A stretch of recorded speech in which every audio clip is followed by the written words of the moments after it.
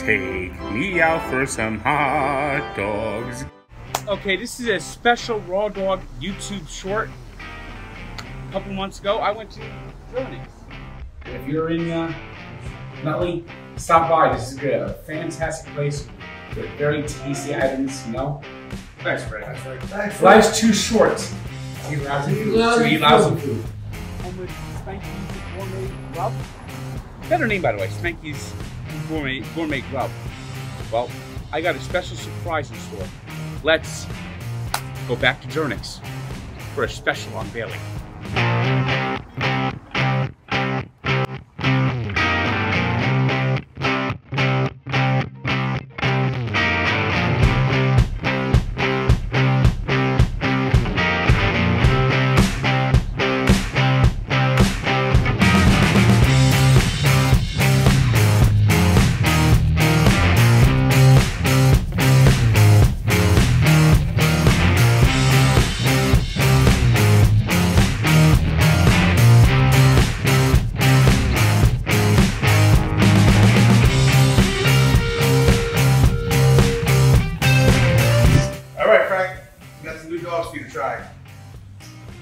These are the old school rippers.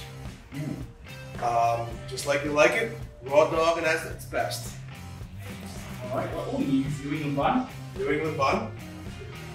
I figured, hold it. You know what? Those don't split in the bottom. The other ones seem to split so easy. You know? You ever thought about maybe toasting a little bit? Yeah. And like uh, that, that I find out does the best. If you toast these buns a little bit, it comes out really good. Nice. Well, you, you are the lead master. All right, this is uh, a Ripper dog, and uh, we get so I hear this is gonna be the tank dog.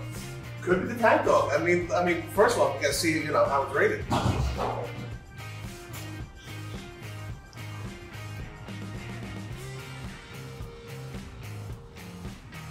I say this, it's very close, not quite Rutt's Hut, but it's very close to Rutt's Hut style taste.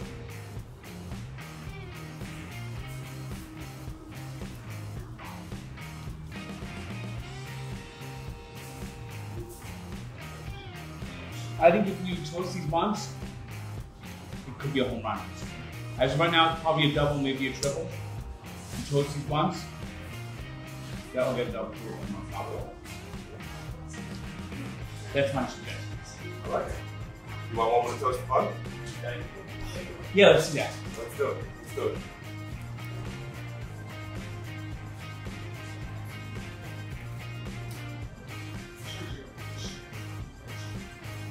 Are gonna be toasted. All right, Frank.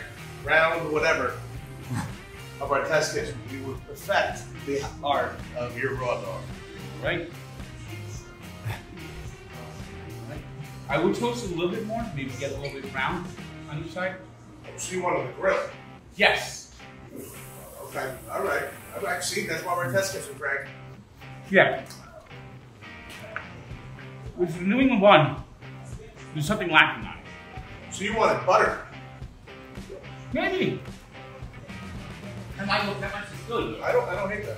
Hold on. Don't hate that whole thought. I'll butter your bun. We'll try that.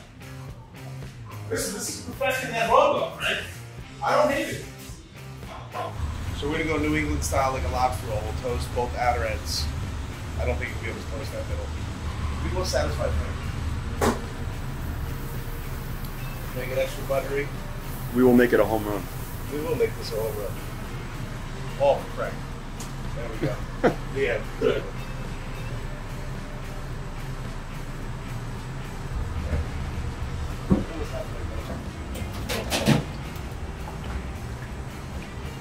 Will this be home run status? Hmm. This one will only find out. All right, try number three for Frank. We toasted the outside of the roll with some butter. You want a little less crispy on the dog, and um, you know what? We're hoping for the home run. Here we go. All right, Frank. So, a little less crispy on the dog, toasted bun with butter. Oh, right now. Lots There, now, now, feel the difference in the bun. This bun feels sturdy, it feels strong. Good bun to dog ratio.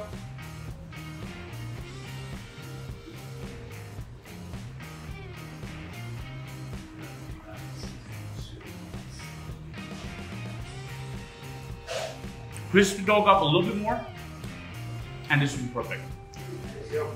I would say that'd be a home run. I'd be proud to call this dog the Frank the Tank. There we go. Like the air, Frank. Thanks for coming, pal.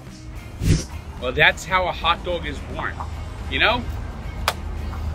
Something new, something different.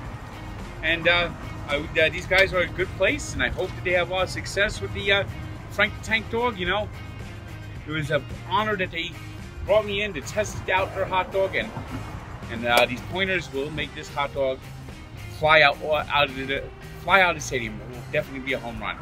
So keep uh, raw dogging, and this has been a special uh, raw dog test kitchen edition. See you later.